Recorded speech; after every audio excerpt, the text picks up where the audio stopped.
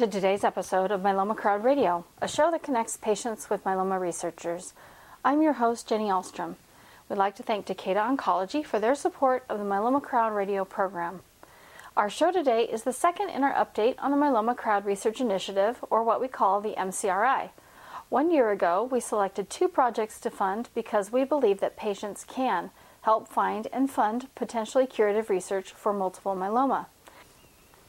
At the beginning of 2015, we created an expert scientific advisory board with some of the top myeloma specialists in the world, like Dr. Robert Orlowski of MD Anderson, Dr. Rafael Fonseca of the Mayo Clinic, Dr. Guido Tricot of the University of Iowa, Dr. Noopur Raje of Massachusetts General Hospital, Dr. Irene Ghobrial of Dana-Farber Cancer Institute, and Dr. Ola Landgren of Memorial Sloan Kettering Cancer Center. We then invited patient advocates to join together for the project – Together, we decided to go after solutions for high risk myeloma because these patients have terrible outcomes, even with the great advances that have been made in the disease.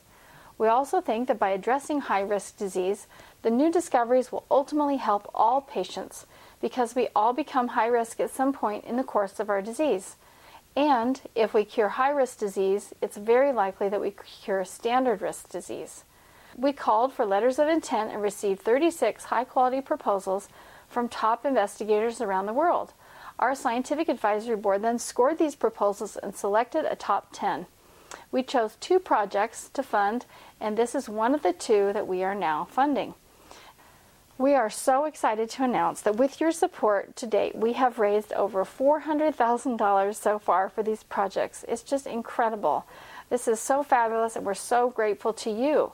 In 2016, we donated 100,000 to each project and today's show is an important status update to see where the project is now and where it's headed. Additional funding will be given to the projects based on progress and need. Now, our ultimate goal is to raise 500,000 for the projects. With your support, we could do this by the end of this year. So take a look at myelomacrowd.org and find the donate or create a page button on our homepage. You can join us to invite friends and family to make end of year donations towards a myeloma cure. Now, today we have with us Dr. Ivan Borrello from Johns Hopkins. Dr. Borrello just returned from ASH where he presented an update on this project in several sessions. So before we begin, I'd like to share an introduction for Dr. Borrello. Dr. Ivan Borrello is Associate Professor of Oncology, Associate Professor of Cellular and Molecular Medicine for the graduate program, and Director of the Cellular Therapeutics Center at Johns Hopkins School of Medicine. Dr. Borrello and his team of researchers have focused on the development of tumor immunotherapy for blood cancers that use cancer vaccines as well as a patient's own immune system to fight their cancer. The particular treatment developed in his laboratory is known as T cell adoptive therapy with MILS, which is called marrow infiltrating lymphocytes, which we will learn about today. He has broken new ground in the fight against diseases like multiple myeloma. Dr. Borrello is a widely published author of many peer reviewed articles and book chapters and a member of several national oncology organizations and professional societies. Dr. Borrello is asked to speak regularly at symposiums around the world. He's received many honors and awards, including the American Society for Clinical Oncology Scholarship Award, the Johns Hopkins University Clinician Scientist Award, the Kimmel Scholar Award, and the Leukemia and Lymphoma Society of America Clinical Translational Scholar Award. Dr. Borrello participated in a recent Myeloma Crowd Roundtable where I interviewed him about his MILS progress and the progress of his open clinical trials. So today's show was recorded at that event. Let's begin by asking you, Dr. Borrello, to give an overview of MILS for those who aren't familiar with this idea. We have um, developed this approach of adoptive T cell therapy with non gene modified T cells that are coming from the tumor microenvironment, which in the case of myeloma is the bone marrow. So we call these cells MILS, which stands for marrow infiltrating lymphocytes. And the idea is that T cells home to where they recognize what, to where, to where they are in touch with what they recognize. And so the highest likelihood of getting myeloma specific T cells in a patient is going to be in the bone marrow, which is where myeloma resides. And in fact, we've been working on this now for about 10, 15 years and have shown that if we take the bone marrow out from patients and grow these cells up, these cells have a heightened myeloma specific activity. So that's the premise for clinical trials um, that we're conducting. And so the idea is that uh, for patients that are interested and eligible for the studies, they're undergoing a bone marrow harvest of around 200 mLs of uh, bone marrow, which is approximately about a cup or so, uh, 12 ounces or so of bone marrow. And um, these cells are then activated in the lab, grown up, and then they're given back to the patient in the context of a transplant. So in our first trial, what we showed was that there was a direct correlation between the ability to achieve a complete response um, and, and it correlated with the highest amount of myeloma specific activity, which was encouraging for us because one, it showed that we could deliver, we could take these cells, grow them up, and that the, the in vitro activity that these cells actually generated then was translatable into an anti-myeloma activity in the patient. We are currently conducting a randomized trial, specifically in the high-risk patient population. And so the trial is patients that meet certain eligibility, which are basically defined by FISH criteria. So it's uh, 17p, 414, 1420, 1416, 1Q amplification. These patients then go on to get a bone marrow aspiration, and then they're randomized in a two to one manner to get transplanted with mills or without mills. So 66% get the mills and 33% don't. And then they get Revlimid starting at around two months at, at five milligrams, which is a significantly lower dose than is what's normally given in the maintenance setting, which is more around 10 or 15. And the rationale for the Revlimid that early on is really to sort of maintain this T cell activation, taking advantage of its immunomodulatory properties. The funding that we're getting through the Myeloma Crowd Research Initiative is not to fund the trial. That's already being funded. It's really to try to answer a different question, which is of the patients that are responding, can we identify antigens that are specific to high risk myeloma, since this is what the trial is, and to determine whether we can then ultimately make that identification and then with that potentially go down to either developing either antibody targets or enriching for T cells. Because uh, right now, what we'd like to do is to sort of see what the long term overall efficacy is of the transplant itself. We are in the process right now of still collecting a lot of these samples and have not actually started with this analysis, but hope to be able to do this within the next three to six months now that we have our first patients that are out about two and a half years or so. So the idea would be that within this next year, we would do this initial analysis of screening of, of serum to identify antibodies, and then once we have these antibodies, to then go through and to try to characterize the antibody responses to the T cell responses, specifically in the patients with high risk myeloma, and hopefully to see whether that is a response that is generated with the patients that got the mills compared to the patients that didn't get the mills. And so I think one of the, the, the, several benefits of this trial are one, that it's targeting a specific patient population. And the second benefit is that we have this comparison between mills versus uh, non mills. And one thing you mentioned on the first show that we did is that you're growing up these T cells in the presence of a patient's own tumor. Yes. So, do you want to explain a little bit more about why that's important or what you sure. what you found so far in your trial? Yes. So what we've shown from previous work actually is that we believe that it's the tumor microenvironment that's actually very important in terms of maintaining the maintaining tumors alive, and that's clearly been shown, but also in terms of maintaining the, the T cell uh, specificity towards the myeloma. And so we made a, we made a conscientious effort in developing this clinical study to not isolate out the T cells, but to grow the T cells within the context of the bone marrow microenvironment, and specifically within the context of tumor. Because we've actually done experiments showing that it's the presence of tumor that keeps these T cells more tumor specific. And so we did what we call crisscross experiments, where we took mills and grew them in the bone marrow, or took mills and grew them and isolated them and then grew them, or conversely took peripheral blood T cells, grew them in the blood, or grew them in the bone marrow, and we were able to show that the best tumor specific T cells were the T cell the mills that were grown within the bone marrow. And then once we took them out, we lost a significant amount of tumor specificity. But interestingly, and I think underscoring some of the unique aspects of mills, merely taking T cells from the blood and putting them in the bone marrow did not restore a significant amount of tumor specificity. So what I think this tells us is that one, we need tumor, or the presence of tumor will make them more tumor specific but that intrinsically there is something unique about these T cells in the bone marrow that is very different from the T cells that are present in the blood that we believe is one of the major reasons why they're a better source of T cells for adoptive T cell therapy. Mm-hmm. And when did you start the clinical trial, and when do you hope to end the clinical trial that so, you're currently running? Right. So the, this current clinical trial, we put the first patient on in November of 2013. The idea is that this is going to be a 90 patient. 90 patients are going to be treated. We are currently up to I think 74 patients or so. We have now opened the trial up at other sites, Moffitt in Tampa, Mayo in Jacksonville, and also Northside Hospital in Atlanta is going to be opening the study within the next few weeks. We, we've enrolled 72. Of those 72, about, I think, eight or so have dropped off either because their disease relapsed during the period of time or other things. And so I'm hoping to finish accrual up to the study sometime at the end of this year or hopefully early first quarter of next year. And what and, and the, the first analysis of this is going to be when half of the patients are at least two years out from transplant. And based on our accrual, that, that mid time analysis is going to occur in the summer of next year. Okay.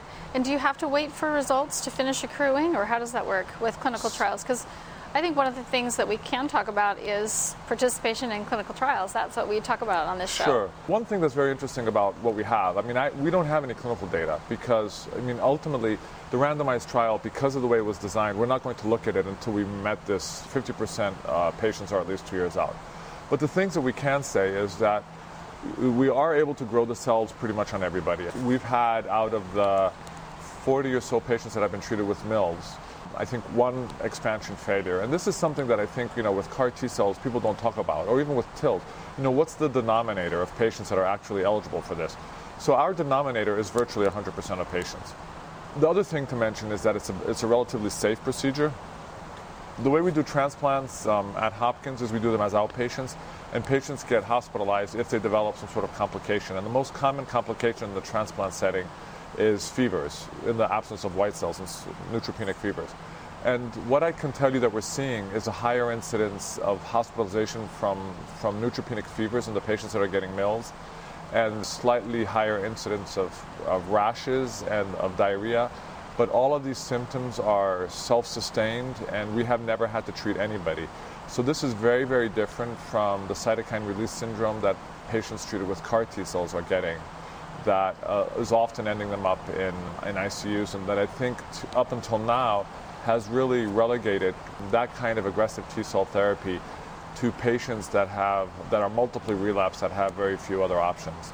If this data turns out to be positive, and, and as we're currently doing, that we're doing this basically in the upfront setting, I think this is one of the very distinguishing features of MILS related T cell therapy compared to CAR T cell in its current formulation.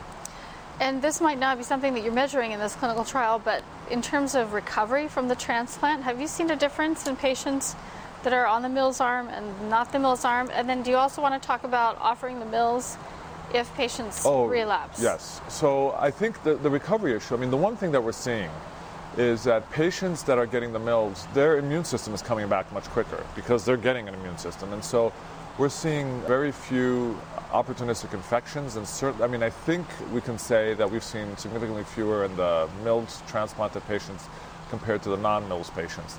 Certainly, quality of life, I think, is not something that we're formally measuring, but we would like to measure. But I can tell you that once the patient is about a month or so out, they're seemingly doing well. If they're doing significantly better than patients that haven't gotten MILS, I honestly can't formally tell you that.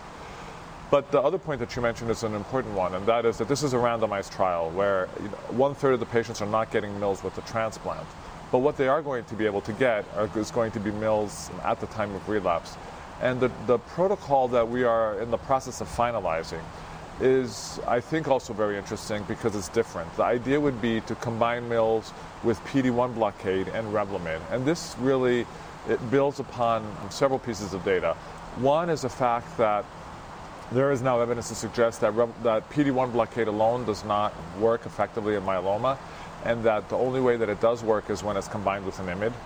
But then the other aspect of this is that one of the benefits of adoptive T cell therapy is that it allows you to regulate a lot of these components of how and when to come in with defined therapies.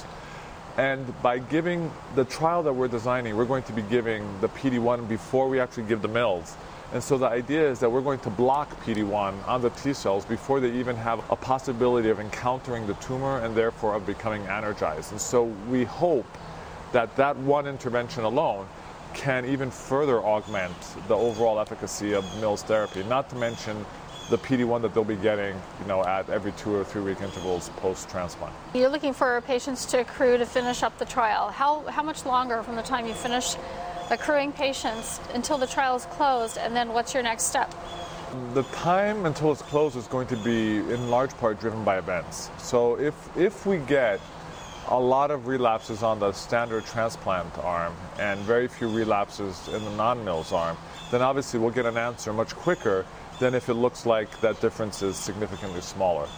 In terms of the next step, a lot of it is going to be dictated by what we see. I mean, if we see a dramatic difference, then I think the one thing that we're planning on doing would be to think about a phase three trial or, or maybe even trying to do something to get this into patients earlier. If, in contrast, we don't see that kind of a difference, then I think we have to go back to the drawing board and sort of figure out what potentially went wrong and how can we improve upon it. You recently started a company around this idea, so it looks like you think it has a lot of promise in many different applications.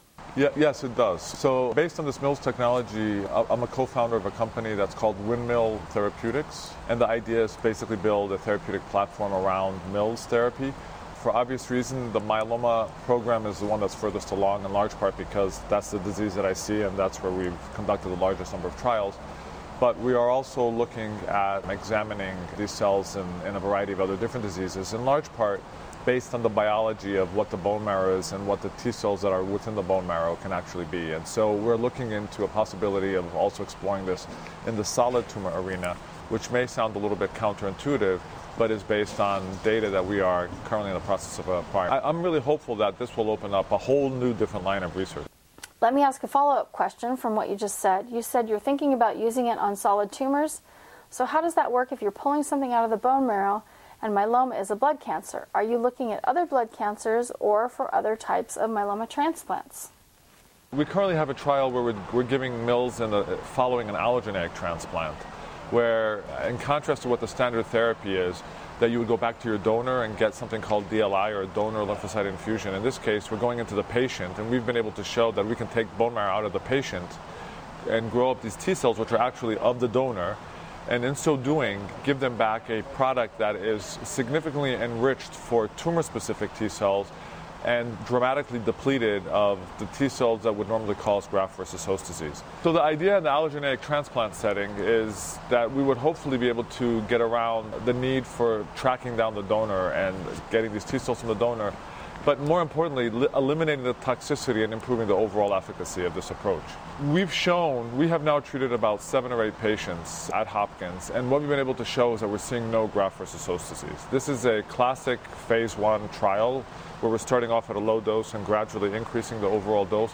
The first patient that was treated was actually a patient of mine with a plasma cell leukemia who got a very nice initial response that lasted over a year. And so now the idea is for her to go back on the trial at a higher dose and see if we can potentiate that response even longer. But as you know, allogeneic transplant is really used more in other hematologic malignancies, leukemia, lymphoma. And so we have patients in those settings as well.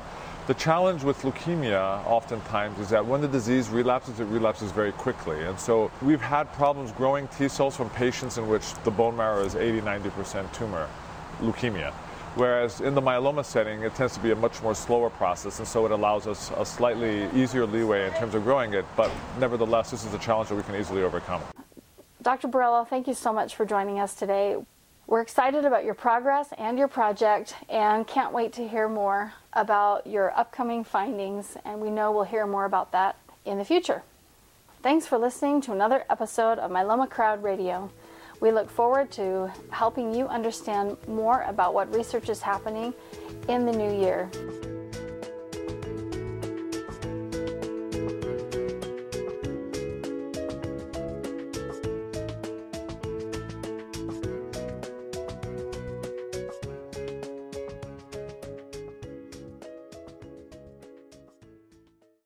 Hello, it is Ryan, and I was on a flight the other day playing one of my favorite social spin slot games on chumbacasino.com. I looked over the person sitting next to me, and you know what they were doing? They were also playing Chumba Casino. Coincidence? I think not. Everybody's loving having fun with it. Chumba Casino is home to hundreds of casino style games that you can play for free anytime, anywhere, even at 30,000 feet. So sign up now at chumbacasino.com to claim your free welcome bonus. That's chumbacasino.com and live the Chumba life. No purchase necessary. Group. Void were prohibited by law. See terms and conditions. 18 plus.